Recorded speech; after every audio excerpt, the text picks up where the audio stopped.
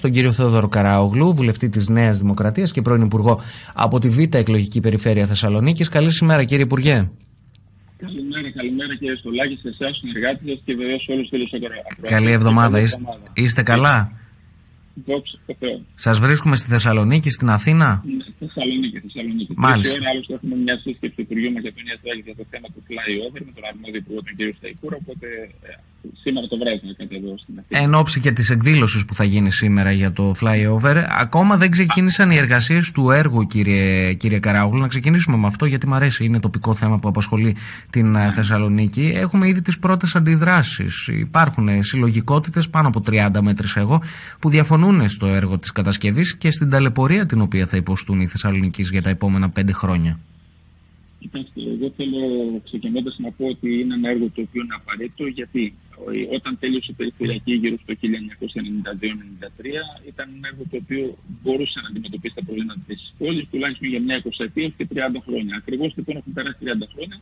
Βλέπουμε όλοι μας σήμερα ότι γιατί αυξήθηκε ο στόλος των αυτοκινήτων στη Θεσσαλονίκη, γιατί έχουμε περισσότερους κατοίκους στο προδομικό συγκρότημα, γιατί έχουμε περισσότερου τουρίστε που χρησιμοποιούν τον δρόμο αυτό, ειδικά ο χερσαίο και ο δικό τουρισμό που έχουμε κατά πλειοψηφία με τη Χαλκιδική, για να πάει στη Χαλκιδική.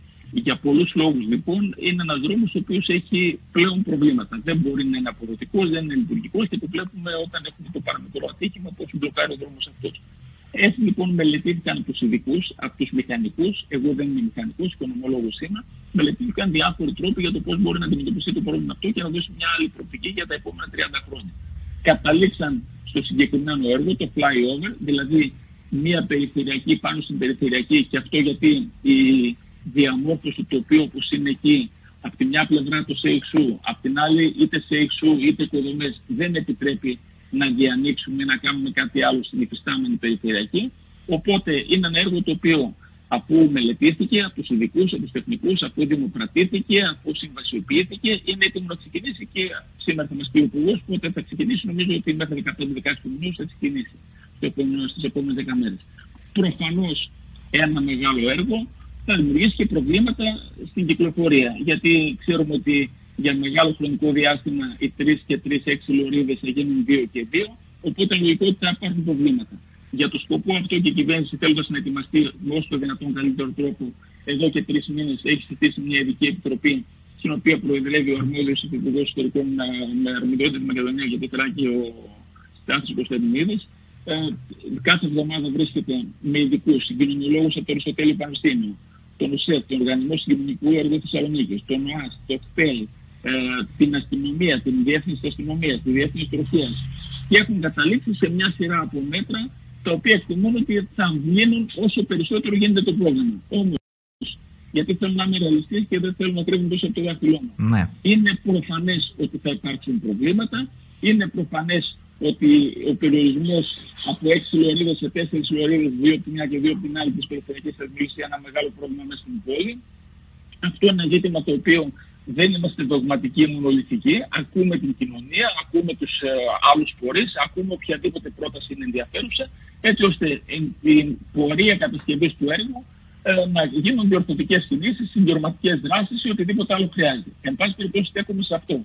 Κάθε μεγάλο έργο προφανώς και δημιουργεί μια ταλαιπωρία. Αυτό είναι δεδομένο.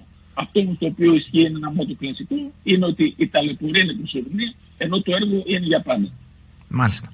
Θα δούμε βέβαια τι θα, τι θα φέρουν οι εργασίες του flyover στην καθημερινότητα της πόλης, η οποία είναι πολύ επιβαρημένη, κύριε, κύριε Καράουγλου, και οι Θεσσαλονικοί ταλαιπωρούνται ακόμα και για να κάνουν τα απλά και τα, και τα βασικά. Α, τώρα θέλω να έρθω λίγο στις ε, αντιδράσεις, στις πολιτικές αντιδράσεις και διαβάζω ένα σχόλιο το οποίο έκανε στα μέσα κοινωνικής δικτύωσης ο αρχηγός της αξιωματικής αντιπολίτευσης, ο κύριος ε, Κασελάκης, απαντώντας ουσιαστικά στις δηλώσεις στο κυριακάτικο facebook status του Κυριάκου Μητσοτάκη α, για αυτό το νέο φορολογικό νομοσχέδιο οι τίμοι οι ελεύθεροι επαγγελματίες, λέει ο κύριος Κασελάκης, βαφτίζονται συλλήβδιν φοροφυγάδες για να πληρώνουν παραπάνω φόρο 1.444 ευρώ ανεξαρτήτως των εισοδημάτων τους. Η, η, η, πρόθεση αυτή της κυβέρνησης δεν έχει προκαλέσει αντίδραση μόνο στο ΣΥΡΙΖΑ και από το ΠΑΣΟΚ διαβάζω εγώ αρκετές ε, αντιδράσεις. Τι, τι θα γίνει τελικά, τι ισχύει; Και για ποιο λόγο η εφαρμογή αυτού του μέτρου που θα επιβαρύνει ομολογουμένως πολλές χιλιάδες συμπολιτών μας, κύριε Καράουλου; Κύριε Στολάκη, αν το ελληνικό κράτος εντός της ελληνικής επικράτηση έχει τη δυνατότητα να έχει σημαντικές πρωτοπαραγωγικές πηγές, βλέπετε εξωτερικό φυσικό αέριο, βλέπετε πετρέλαιο, ενδεχόμενα να μην χρειαζόταν καν επιβολή φόρου. Υπάρχουν άλλωστε χώρες, ιδίως ελληνικέ χώρες, που δεν έχουν φόρο γιατί δεν έχουν καμιά ανάγκη, γιατί όπου και να σκάπτουν βρίσκεις πετρέλαιο, οπότε είναι λογικό ότι δεν χρειάζεται να επιβάλλουν φόρο γιατί έχουν άπειρα έσοδα. Όμως, το ελληνικό κράτος για να λειτουργήσει και να προσφέρει τις υπηρεσίες που θέλουν και πολύ σωστά θέλουν οι πολίτες για να εξασφαλίσει την εθνική μας άμυνα, για να εξασφαλίσει τη δημόσια τάξη και ασφάλεια των Ελλήνων πολιτών, για να εξασφαλίσει τις κοινωνικές υποδομές, νοσοκομεία, καπή, βρεφονιτιακού σταθμούς, για να εξασφαλίσει τη δημόσια παιδεία, όλα τα σχετικά, χρειάζεται να έχει έσοδα. Και τα έσοδα αυτά καλύπτονται μέσω των φόρων που πληρώνουν οι Έλληνες πολίτες. Εδώ λοιπόν παρατηρούμε το εξής. Ε, και σας μιλάω με την ιδιότητά μου και ως προλογιστής και ως εφοριακό και ένας άνθρωπος που συμμετέχει 20 χρόνια στο Κοινοβούλιο και ειδικότερα στην Επιτροπή Οικονομικών και που έχει εξαντλήσει, έχει συζητήσει το θέμα από κάθε πλευρά και με κάθε κυβέρνηση και με κάθε υπουργό. Υπάρχει ένα τεράστιο πρόβλημα φοροδιαφυγής. Γιατί; Γιατί φαίνεται ότι αυτοί οι οποίοι είναι οι πιο, οι, οι πιο οι Έλληνες που έχουν το μεγαλύτερο εισόδημα είναι οι μισθωτοί και συνταξιούχοι, οι οποίοι είναι οι μόνοι οι οποίοι δεν μπορούν να διαφύγουν, γιατί είναι ξεκάθαρο το εισόδημά τους. Παίρνουν τη βεβαίωση είτε από το κράτος όταν είναι συνταξιούχοι ή οι δημόσιοι υπάλληλοι, είτε από, τον, από την ιδιωτική επιχείρηση στην οποία δουλεύουν όταν είναι ιδιωτικοί υπάλληλοι. Και ότι η πλειοψηφία των ελευθέρων επαγγελματιών και αναφέρουμε στη μικρομεσαία επιχείρηση, όχι στη μεγάλη επιχείρηση. Γιατί, Γιατί στη μεγάλη επιχείρηση, που είναι πολυεθνική, δεν μπορεί να γίνει φοροδιαφυγή και εκεί υπάρχουν άλλα ζητήματα Υπάρχουν ζητήματα που έχουν σχέση με την φοροαποφυγή, που είναι νόμιμο και πώς θα κοιτάξουμε και πρέπει να κοιτάξουμε πώς μπορούμε να την περιορίσουμε. Υπάρχουν άλλοι τρόποι, αλλά κυρίως οι μικρομεσαίες επιχειρήσεις που με βάση τα επίσημα στοιχεία του Υπουργείου Οικονομικών και δεν τα αμφισβήτησε ούτε τα αμφισβητεί κανείς, το 71% δηλώνει εισόδημα κάτω από το βασικό κατώτατο μισθό, που, το ετήσιο σύνολο του βασικού κατώτατου μισθού, που σήμερα είναι 780 ευρώ επί 14 μήνες, γιατί στον ιδιωτικό τομέα υπάρχουν και τα δώρα, μας κάνει 10.920. Έχουμε λοιπόν το 76% των μικρομεσαίων επιχειρήσεων που να δηλώνουν κάτω από αυτό το ποσό. Είναι, είναι, είναι κάτι που πραγματικά είναι εξοργιστικό. Δεν λέω ότι δεν υπάρχουν άνθρωποι οι οποίοι πράγματι βγάζουν κάτω από το 10.920, αλλά πιστεύω ότι η μεγαλύτερη πλειοψηφία αυτών που δηλώνουν κάτω από 1920 βγάζουν πολύ περισσότερο από 1920. Λένε κύριε Καράογλου ότι πήρατε τις εκλογές και αποκαλύπτεται το, την ε, φορομπηχτική αν μπορώ να χρησιμοποιήσω αυτόν τον όρο το διάβασα κάπου εντός εισαγωγικών πολιτική εκ των υστέρων. Η κυρία Κυριάκου Μητσοτάκη, κύριε Στολάκη, αν καταγραφείς στην πολιτική ιστορία του τόπου, θα είναι ε, κάτι πολύ σημαντικό η μείωση των φορολογικών επιβαρύνσεων.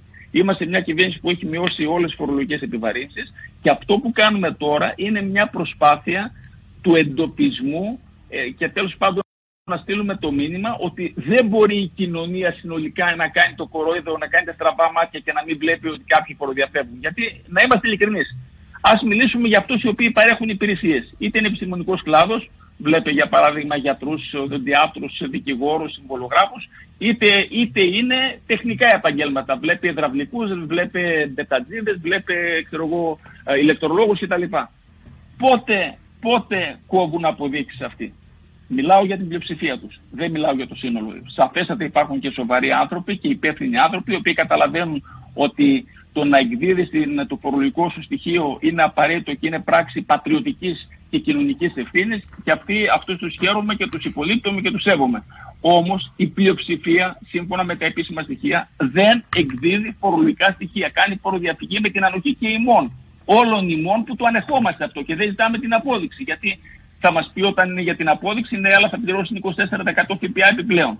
Λοιπόν, αυτό είναι ένα ζήτημα, μια παθογένεια της ελληνικής ε, του ελληνικού φορολογικού συστήματος. Αυτό είναι κάτι που πρέπει να αντιμετωπίσουμε. Δεν ισχυρίζουμε ότι είναι το πιο δίκαιο το σύστημα με τα τεκμήρια, όμως για πρώτη φορά τα τεκμήρια που στο παρελθόν είχαν εφαρμοστεί είναι, είναι μαχητά. Δηλαδή μπορεί κάποιος να αποδείξει ότι πράγματι δεν α, είχε τα έσοδα τα οποία αντιστοιχούν ας πούμε στο 1920 Λοιπόν, αυτό είναι, αυτό είναι λοιπόν μια καινούργια δυνατότητα που δίνεται μέσα, μέσα στο φορολογικό νομοσχέδιο. Εν πάση περιπτώσει, θεωρώ ότι αν όλοι αρθούμε στο ύψος των περιστάσεων, καταλαβαίνουμε ότι ένα κράτος, όπως μια κοινωνία, όπως μια οικογένεια για να λειτουργήσει πρέπει να έχει έσοδα και είμαστε συνεπείς στις υποχρεώσεις που μας αναλογούν, τότε το πρόβλημα δεν θα υπάρχει για την ελληνική οικονομία. Μάλιστα. Κύριε Καράογλου, σας ευχαριστώ θερμά για αυτή τη συζήτηση. Να είστε καλά, κύριε Στολάκη. Να είστε καλά, την καλημέρα μας. Καλή εβδομάδα να, να έχετε.